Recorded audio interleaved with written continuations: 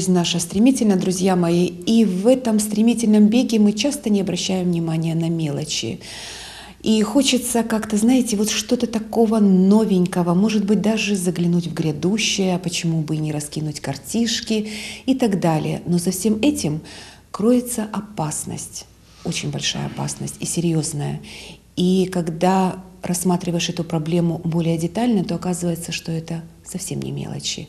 А почему, мы сейчас с вами узнаем.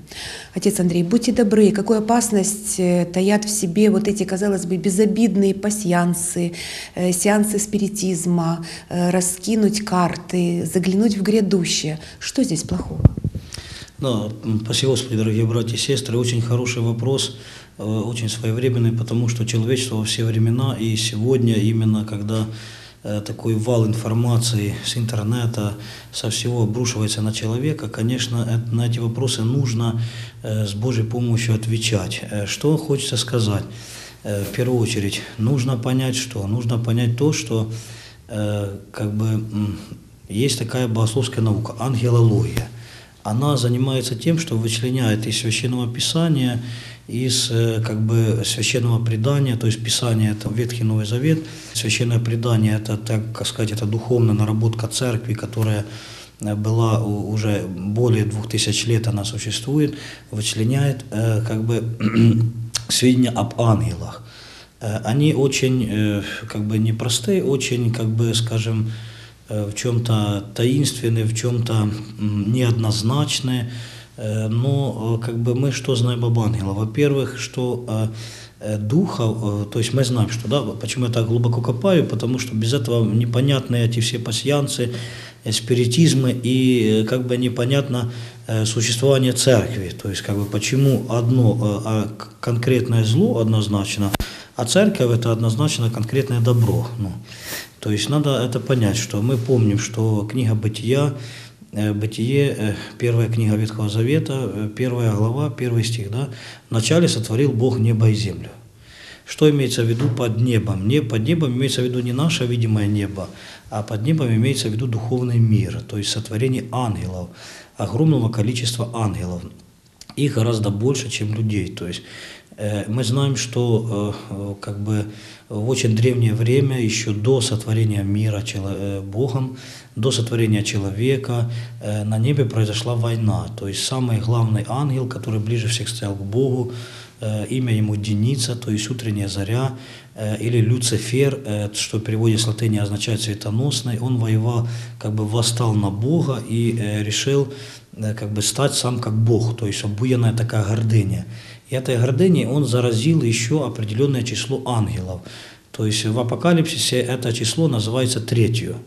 То есть третья часть ангелов, и архангел Михаил воевал с сатаною, и э, была низвергнута третья часть ангелов вместе с ним. То есть как бы это все тоже зафиксировано в Священном Писании в Апокалипсисе. И вот в результате этой войны на небе было низринут сатана э, и дьявол, а эти слова означают противник и, и клеветник, то есть как бы были низринуты в определенное место, которое, э, скажем, имеет только бытийную Божью благодать.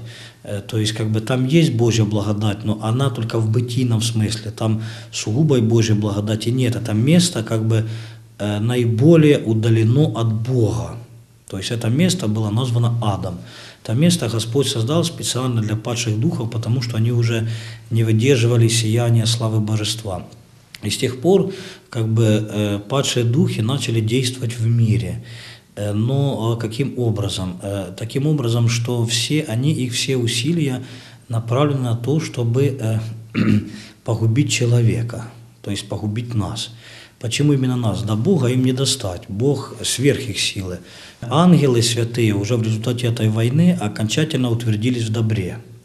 То есть они уже не могут сдвинуться с точки добра. Остаются люди. Почему им так э, интересны люди э, бесам? И сатане, потому что э, люди – это икона Божья. То есть люди, э, каждый человек из нас – это образ и подобие Божье.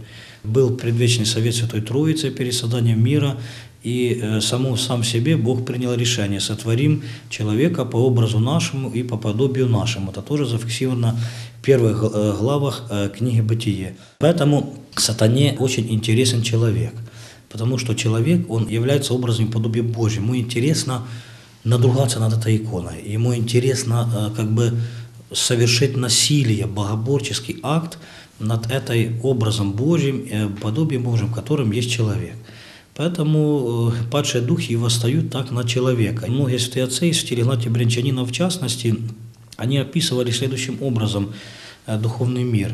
Если бы человеку Господь им даровал бы духовное видение, которое было у многих отцов, то они бы увидели, что как бы мы все стоим, как бы мы просто нас этого видения нет, мы все стоим словно бы в улье пчел как будто бы мы, вокруг нас огромное количество живых существ, духов. Как бы они роятся вокруг нас, как, э, э, как, как пчелы, как насекомые. И это святые ангелы, которые нас оберегают, и демоны, которые пытаются столкнуть нас с пути истинного то есть как бы ввести нас в ад различными способами. Этих способов масса, огромная масса способов. И вот э, для того, чтобы человека спасти, когда уже было совершено грехопадение, когда тот же самый сатана да, толкнул а святых працев Адама и Еву, толкнул на как бы преступление против Бога, на нарушение заповеди, тогда Господь э, повелел, э, как бы, э, ну, сказал, что будет послан Спаситель для того, чтобы спасти человечество. Второе лицо Святой Троицы, Господь Бог и спас наш Иисус Христос, Он должен был воплотиться э, для того, чтобы спасти человечество. И была им же, самим Богом, создана церковь для того, чтобы человек снова открыл э, путь в небеса, для того, чтобы он снова мог войти в его родину духовную, в духовный мир, в Царствие Небесное и спастись. Вот что такое церковь. То есть именно поэтому церковь – это абсолютное добро. Потому что церковь – это творчество Божье, это утверждение, установление Божье для того, чтобы спасти человека. Вот. Э, сатана же предлагает э, человеку совершенно э, различные методы для того, чтобы человека заманить к себе. Ну, все бабки, гадалки, экстрасенсы, колдуны – это все э, как бы абсолютно сатанинские проявления для того, чтобы человека сбить с пути истинного, для того, чтобы, как вот святые отцы очень э, четко и емко выражаются, что как бы можно зайти в духовный мир правильно, через храм, через церковь, а можно зайти в духовный мир с черной стороны, с тыла, как бы зайти с тыла – и вот это вот всякие экстрасенсы, бабки, гадалки, колдуны, это именно астрология, это все именно и есть. И что означает зайти с тыла? Это означает попасть в лапы к сатане. Это означает, что сатана получает власть над человеком, над конкретной этой душой. Поэтому, в принципе, часто различные роды беснований, а мы знаем, что оно есть, если вы, допустим, поедете в Почаев, то вы увидите как бы вот это страшное, как, когда с человеком, я несколько раз видел, это действительно волосы дыбом встают, что как бы это есть, и это происходит, и дай Боже здоровья вот почаевским иеромонахам и священникам, которые исповедуют таких людей, которые держат эту оборону, э, то мы бы увидели, как это страшно. Ну, можно видеть, как это страшно. И именно обеснование часто приобретают те люди, которые занимаются этими вещами. То есть занимаются как бы э, экстрасенсорикой, колдовством, ведьмовством и так дальше, так дальше. Один, я не буду говорить там на телевидении, кто конкретно, но один экстрасенс попал в Киево-Печерскую лавру.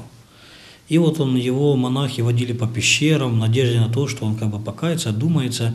И вот возле мощей преподобного Нестора Некнижного в дальних пещерах ему стало плохо. Ему стало плохо. И его вывели. Ему говорят, батенька, вам надо покреститься, поисповедаться, причаститься. А он говорит, не могу, сила отойдет. То есть я не могу исповедаться, причаститься, потому что у меня отойдет сила. Священник, вот скажем, священником водительствует ангел, святой ангел, который его ведет. Священник уже является, э, скажем так, ну, проводником Божьей воли, он является служителем Христовым. И на священнике печать э, священства, печать благодати Божьей. Э, бабка, гадалка, экстрасенс тоже водительствуется духом. Но этот дух уже не, не святой, это дух уже не добрый, это дух уже бес, это уже демон, который так же, как мы видим в деяниях святых апостолов, когда э, святой Верховный апостол Павел, за ним входила женщина, которая была одержима бесом, духом прорицательства, который уже апостол Павел потом изгнал. То есть бес может э, иметь э, власть прорицательства, бес может иметь какую-то власть исцеления, но за эту власть, э, за это исцеление и за это прорицательство, то есть бес возьмет душу человеческую.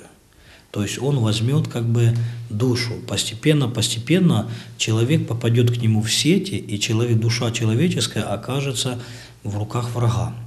Это касается всего, это касается спиритизма, это касается любых оккультных вещей. Потому что э, как бы это, э, ну, человек вот часто э, спрашивает, как бы, почему, батюшка, вот мы же приезжаем бабушкам, бабушки ничего плохого не делают, они яичком там выводят, у них иконочки в доме, там, у них там, они какие-то заговоры читают с поминовением имен святых, с, с поминовением имен Божьих. Почему, почему это происходит? Это происходит почему? Потому что их задача попрать святыню. Вот вы если заметите, что бабка, э, колдунья, она никогда не примет некрещенного человека. Очень часто бывает такое, что к батюшке приезжают, а люди говорят, батюшка, покрестите нас. Он спрашивает, зачем вы, почему вы креститесь, какое ваше это крещение? А они говорят, нам надо ехать к бабке, и бабка сказала, чтобы мы покрестились. Почему покрестились? Потому что человек, который не крещен, сатане этот человек не нужен, потому что этот человек и так как бы не член церкви, для него Царствие Небесное закрыто, пока, по крайней мере. А человек, который крещен, сатане надругаться над таинством крещения, надругаться над святыми иконами, это уже для него очень важное как бы очень сладостное действие. Здесь э, надо знать, что человек, который занимается или подпадает под эти вещи, оккультные всякие, магию, колдовство, э, спиритические сеансы, э, он имеет опасность получить болезнь беснования. Имеет опасность того, что к этому человеку может приложиться бес, этот бес его будет потом мучить очень долгое время. То есть вместо желаемого исцеления, вместо желаемого э, результата каких-то земных, материальных э, благ, которые часто пытаются получить люди, или здоровья, э, которые обращаются к этим людям, они получат и нанесут огромный урон своей душе и станут не сосудом Духа Святого, которым есть каждый православный христианин, но сосудом совсем иного духа, который нанесет и будет мучить душу страшно, страшно. Поэтому здесь мы всегда должны иметь выбор и не вестись на какие-то яркие, цветные, магические там рекламы, скажем, духовные рекламы. Нужно знать, что вот несколько тысячелетий церковь стояла, стоит и будет стоять. И это единственный путь в небеса. Единственный путь к благодати Божьей.